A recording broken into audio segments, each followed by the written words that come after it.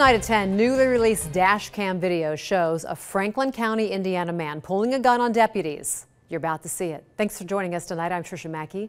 Rob has the evening off. Deputies fired at the man after he ignored several commands to drop that weapon. Courtney King is live in Brookville with the story you'll only see right here on Fox 19 now. Yeah, Tricia, we're live here outside the Franklin County Courthouse because this is where Zachary Chetwood pleaded guilty to attempted aggravated battery and several other charges back in May. And then late last month, he was sentenced to 9 to 11 years for the incident. And in the dash camera video we're about to show you, you do see deputies firing at Chetwood, but you also see them rushing to save his life. We do need to warn you that the video could be disturbing. Very dangerous situation that he created. Drop the gun! This newly released dash camera video shows the tense moments between Franklin County deputies and this man, Zachary Chetwood. Drop the gun! Authorities say Chetwood called 911 in May of 2022, threatening suicide. Deputies drove to his home in Cedar Grove, but as you can see in the video, Chetwood pulls a gun at officers. He dismisses the commands, and officers wait nine seconds before firing. Drop the gun now!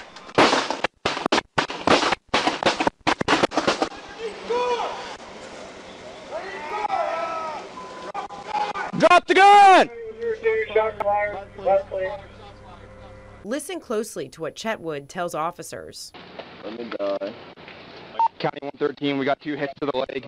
And the officers were, were forced, um, were compelled to defend themselves. Chris Huerkamp is a Franklin County prosecutor. We didn't have evidence that he fired first, the suspect. Um, the evidence is that he was hit, went to the ground, and then fired his weapon. The video shows officers going to a neighbor's house to check on them. Are you okay? Yeah.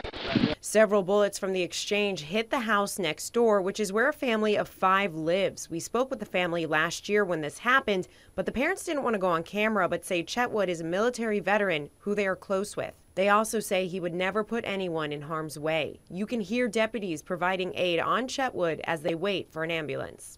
We'll be all right. You're gonna stay with us, man. Keep talking to us, man. Chetwood pleaded guilty to several charges in May and was sentenced to 9 to 11 years late last month. Is that he accepted full responsibility for his actions. Huerkamp says Chetwood created a very dangerous situation. These officers are heroes. They wasted no time to go over and save his life.